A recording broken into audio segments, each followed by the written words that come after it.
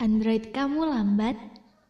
Tips Android ini akan mempercepat kinerjanya. Android adalah sebuah platform yang membebas, yang membebaskan gerakan para penggunanya tanpa dibatasi sedikit pun. Dengan begitu, tak sedikit pengguna yang memodifikasi perangkat berbasis OS dari Google tersebut. Berkat konsep open source ini, namun tak jarang berkat konsep open source ini pula yang membuat ponsel Android menjadi perangkat yang terbilang cepat dari segi penurunan kinerjanya. Pasalnya masih banyak cara yang bisa dilakukan untuk kembali meningkatkan performa gadget kesayanganmu tersebut. Berikut beberapa langkah yang bisa kamu gunakan untuk mempercepat kinerja dari ponsel Android. Hilangkan atau kurangi gerakan animasi. Langkah pertama yang bisa kamu lakukan untuk mempercepat ponselmu adalah dengan menghilangkan atau mengurangi. Gerakan animasi yang dimaksud di sini adalah gerakan yang bersifat unik sekaligus mengurangi kecepatan kinerja ponsel. Jika kamu setuju dengan hal ini, maka silakan menuju ke bagian developer option yang ada pada setting, lalu about phone. Lakukanlah scroll ke bawah hingga menemukan tab build number, lalu tekanlah bagian tersebut sebanyak tujuh kali.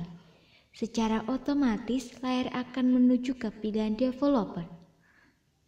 Pada halaman ini kembalilah melakukan scroll ke bawah hingga menemukan tab window animation skill, transition animation skill, dan animator duration skill. Pada bagian window animation skill, silakan kamu pilih 5 kali untuk mempercepat durasi animasi atau off untuk mematikannya. Pilihlah sesuai kondisi yang kamu kehendaki. Bersihkan layar home dan bersihkan layar home dari widget. Widget adalah sebuah fitur yang akan menampilkan beragam macam hal di layar home ponsel kamu. Tak hanya akan memakan kuota kamu secara otomatis, namun widget juga akan mengurangi kinerja dari ponsel Android.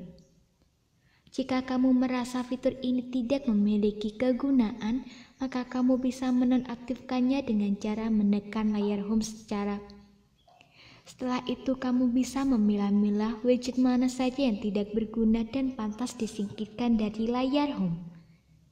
Dengan begitu, kinerja smartphone Android yang selalu berada di genggaman akan sedikit meningkat. Uninstall dan un uninstall dan nonaktifkan aplikasi yang tak digunakan. Android adalah sistem operasi yang paling lemah dari segi penyimpanan. Pasalnya setiap kali kamu melakukan instalasi suatu aplikasi, maka secara otomatis folder-folder yang diperlukan oleh aplikasi tersebut akan memenuhi ruang penyimpanan.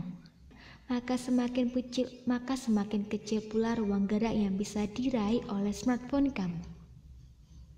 Maka dari itu, cobalah luangkan waktu sedikit untuk memusnahkan aplikasi-aplikasi yang sudah tak digunakan lagi.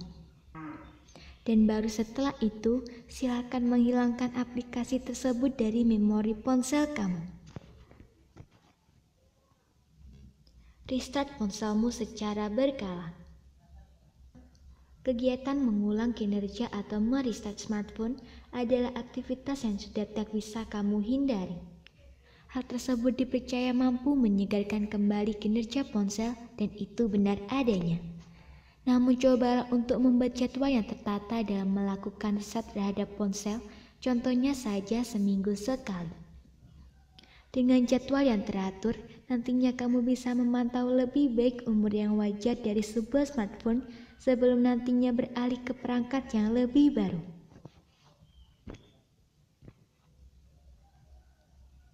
Pastikan sistem Android kamu up to date. Hal yang paling ditakutkan oleh para pengguna smartphone adalah memperbarui sistem operasi mereka. Rasa takut akan kinerja yang melambat biasanya menjadi dasar para pengguna perangkat Android untuk mengupdate sistem operasinya. Namun tahukah kamu, jika memperbarui sistem operasi berkemungkinan untuk meningkatkan kembali kinerja ponsel Android, akan diiringi dengan adanya perbaikan terhadap bug sekaligus peningkatan kinerja pada software tersebut. Untuk mengetahui apakah sistem kamu telah diperbarui atau tidak, silakan pergi ke setting. Secara otomatis sistem akan mencari pembaruan. Jika tidak ditemukan, berarti sistem yang sekarang kamu gunakan adalah yang terbaik untuk hardware di dalamnya. Semoga informasi tersebut dapat bermanfaat. Jangan lupa untuk klik subscribe untuk mengetahui video terbaru dari kami.